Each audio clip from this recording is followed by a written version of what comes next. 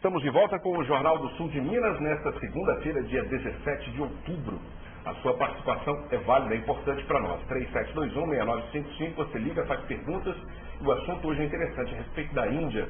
Tem esse movimento, o Movement, movement, movement, o movimento da unidade, na qual existe essa universidade onde o Augusto ficou durante 40 dias estudando lá na Índia. E quais são os objetivos? Para que fazer esse movimento da unidade, para que aplicar a bênção da, da, unidade, né, que é o Diksha, e explica para a gente o que é o Diksha, porque as pessoas também não sabem. Vou explicar. Ah, por que, que se chama movimento da unidade? Se chama movimento da unidade porque o homem atual, ele não se sente conectado o homem atual, ele acha que, que Deus, vamos dizer assim, está lá num lugar especial e que o homem está aqui. Esse distanciamento é, é uma ilusão. Porque, na realidade, o que acontece é que é, essa energia vital, Deus, poder superior, como a gente quiser chamar, ela é presente aqui, agora, o tempo todo. E nós também. Então nós estamos conectados, todo o planeta, todo o universo está todo conectado ao mesmo tempo. Não existe esse distanciamento, esse sentimento de separação. E por cultura, por eh, educação, eh, formação escolar, crenças, o homem ele tem um comportamento como se ele não fosse digno de pertencer a esse tudo. Esse é o sentimento. Ah, eu não sou digno de, de, de, de, de estar lá. Quem está lá é Deus, eu estou aqui. E essa não é a realidade. Porque é, essa força que nós chamamos de Deus, esse é, poder da criação, está presente em tudo que tem vida.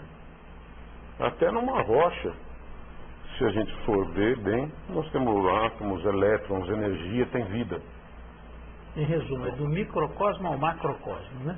Agora, Augusto, no, no, caso, então, esse movimento, ele vai constituir, cortando a sua explanação, ele vai constituir basicamente na manipulação do, do fluido universal, ou do fluido vital, é isso?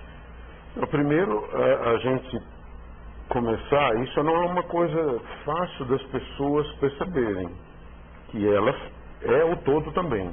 Não é que ela faz parte, ela também é o todo. Está inserida, né? É. Diretamente. É como quando Jesus disse, eu sou a verdade, o caminho e a vida. Olha essa afirmação. Eu sou a vida. Se ele é a vida, onde tem vida ele está. Então ele está comigo, está com você, está com o Senhor. Né? Então, essa, essa é uma das visões da Onimus. A outra visão que tem é o, o tema, se a gente entrar no site Onimus University, só colocar na busca do Google lá, Onimus University, está lá, Existing for Living, existindo para viver. Porque hoje o homem existe e não vive. Ele existe, ele tem uma rotina, levanta, toma o seu café da manhã, sai para a rua, vai trabalhar, volta para casa, assiste televisão, vê um pouquinho de novela, dorme, acorda no dia seguinte, a mesma coisa, e não vive. A pessoa vai fazer uma refeição, está sentada, se alimentando, com a cabeça dela, o pensamento dela em outro lugar. Ela não está ali presente no agora. Raramente as pessoas estão presentes no agora. Eu, o nosso pensamento fica sempre flutuando, ou no passado, ou no futuro, e raramente no agora, que é onde a vida acontece, é onde a presença está.